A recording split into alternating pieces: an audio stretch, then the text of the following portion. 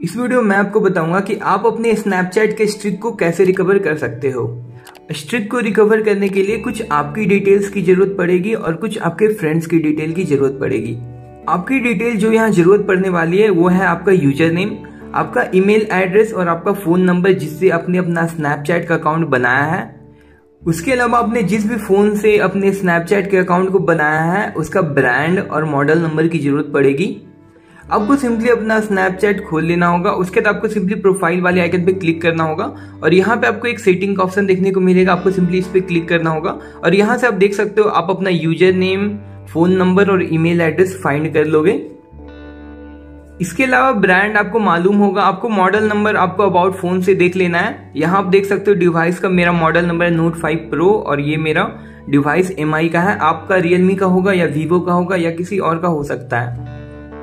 इसके अलावा जिस चीज़ की आपको ज़रूरत पड़ेगी, वो है आपके दोस्त, जिसके साथ आपकी स्ट्रिक टूटी है, उसका यूज़र नेम तो मेरी इस फ्रेंड के साथ टूटी है तो मैं इस पर सिंपली क्लिक करूँगा और इसके प्रोफ़ाइल पे जाऊँगा। तो आप देख सकते हो, यहाँ पे उसकी यूज़र नेम आ गई है।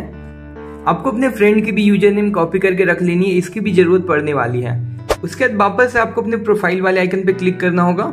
और यहाँ आने के बाद आपको वापस से सेटिंग वाले आइकन पे क्लिक करना होगा। और यहाँ आने के बाद आपको थोड़ा सा नीचे स्क्रॉल करना है। उसके सपोर्ट में आपको एक ऑप्शन देखने को मिल जाएगा I have a privacy question आपको सिंपली इस पर क्लिक करना होगा।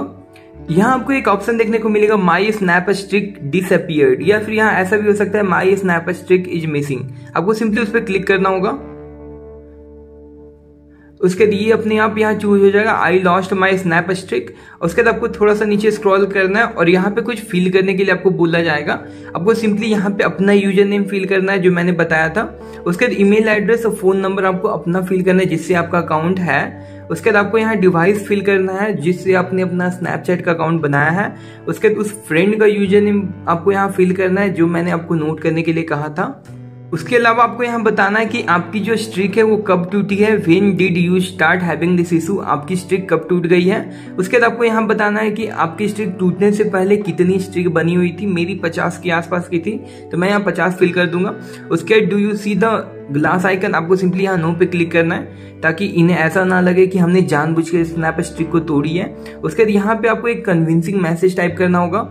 यहाँ कन्विंसिंग मैसेज आप खुद से भी लिख सकते हो, और अगर आप खुद से नहीं लिख पा रहे हो तो आप सेम चीज़ को कॉपी कर सकते हो। यहाँ मैंने यहाँ लिखा है hello Snapchat team I lost my snap streak with my friend we struggled a lot to create this streak of 50 मेरी 50 की थी तो मैंने 50 लिखी। आपकी जितनी होगी, उतनी लिखोगे। Please help me thank you ये डिटेल्स को फिल कर लेने के बाद आपको सिंपली यहाँ सेंड वाले बटन पे क्लिक करना होगा।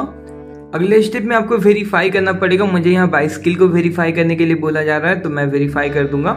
उसका सिंपली आपको यहाँ वेरीफाई वाले बटन पे क्लिक करना होगा। वेरीफाई करने के बाद आपको कुछ इस तरीके का इंटरफेस देखने को मिलेगा। इसके 24 फोर आवर्स में आपकी जो प्रॉब्लम है, वो रिजॉल्व कर दी जाएगी।